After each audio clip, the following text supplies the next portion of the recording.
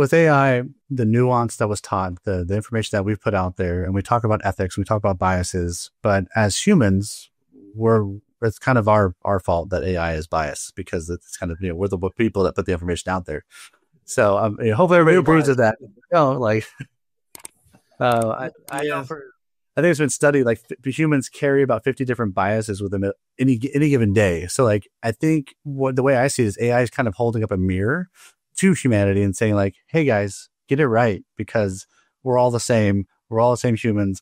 Yes, we have different like personal beliefs or personal things that we do or mantras or whatever. But as a company, companies have their own culture too. And it's holding up a mirror to that as well. And I think companies need to pay attention to what's being seen because when you have the average person that works at a company leaving every two years anyway, why is that? And that's that's around every industry. I think we're all shaking our heads like we see this.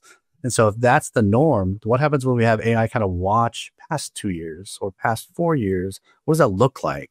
And and happy to you know hear what you guys have to think about that. Uh, you know, I think what we're going to see in the workforce is a lot more movement towards uh, business to business and small business development. We're going to see a lot of the bigger companies, you know, that already are large. They're like, like you know, even though Klarna didn't work out for them, but they're doing hiring freezes. They're being careful about hiring because a lot of different lower level tasks can be automated out.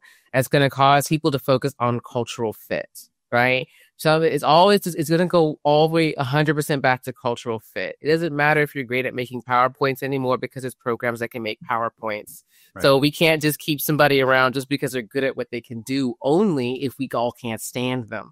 Uh, and we're going to see a lot more people kind of going out making their own company, companies that are subcontracting and collaborating. Where I see that now, I'm sure all the rest of the panel, because we're in that AI space, you know, any project that I'm working on myself, it's really me and four, two or three or four other companies. And we're coming together and co collaborating as partners, as business partners, and establishing a separate little business of all of our businesses working together to do this project or communities. You know, we've already seen that with like with Insight Jam, right? You have communities that are coming together and bringing business owners together. So that's what I think I say the future of the employment space is a lot more small businesses opening up and working together and collaborating on the highest level because we can automate out all the other tasks. We don't need someone to spend their full time on that. And we see companies are going to have much smaller teams in general. That's what I think is the future.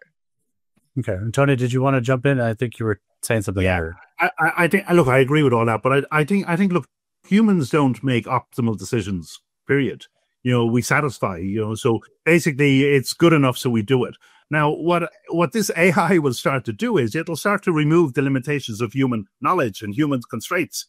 And if we are clever enough and we start to harness that, we actually can see organizations moving into far more strategic decision making because a lot of organizations, you know, they think they're doing st- strategy, they're not. They're just doing implementation.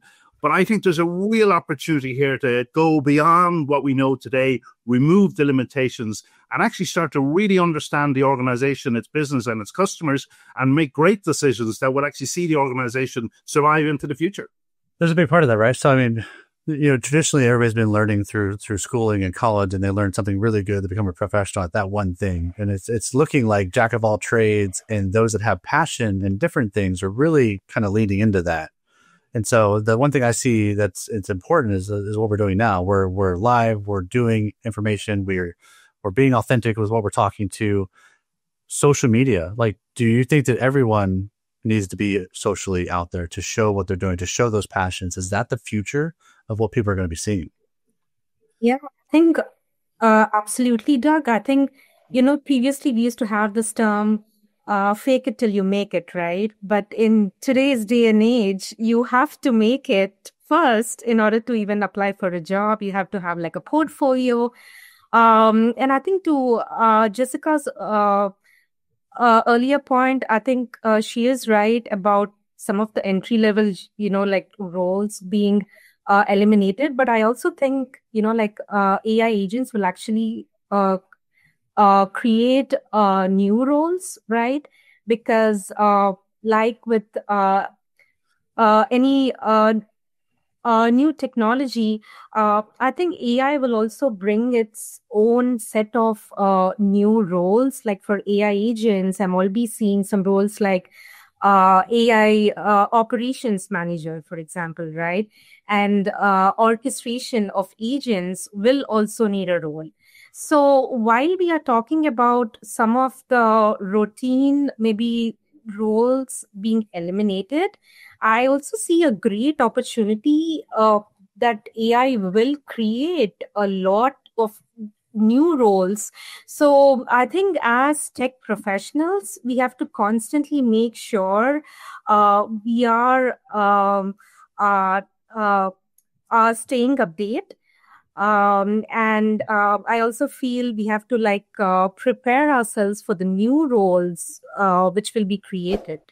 Yeah, I completely agree with Jessica and Aparna as well, right? It's not like AI is gonna remove the jobs, but uh, think, let's think in a positive way that it is gonna create more jobs as well. The titles will be different, like uh, there will be prompt engineers, uh, there will be AI ops managers or AI workflow engineers and all, right? So instead of engineers uh, focusing on how to save jobs or how to not let AI take over, but instead engineers will think more about uh, teaching agents what is good actually uh, in terms of uh, developing more models and creating more agent uh, agentic systems.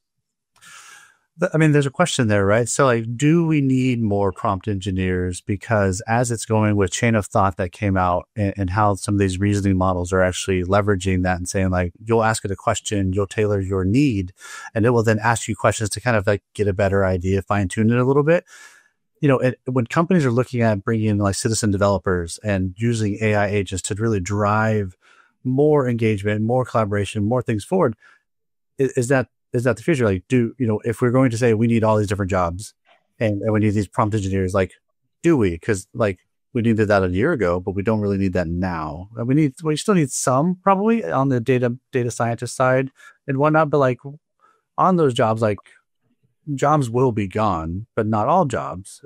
And so, like, what are some of the other things that, that anybody here is seeing?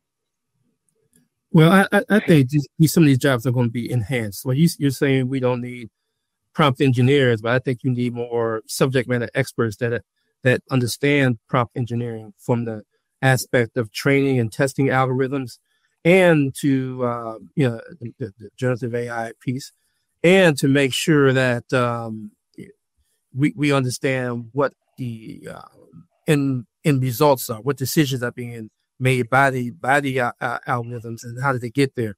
Having someone that's subject matter experts in these areas are going to play a key role. Just like we see um, the generative AI be able to do code, right? The right Python code, C++, plus whatever code.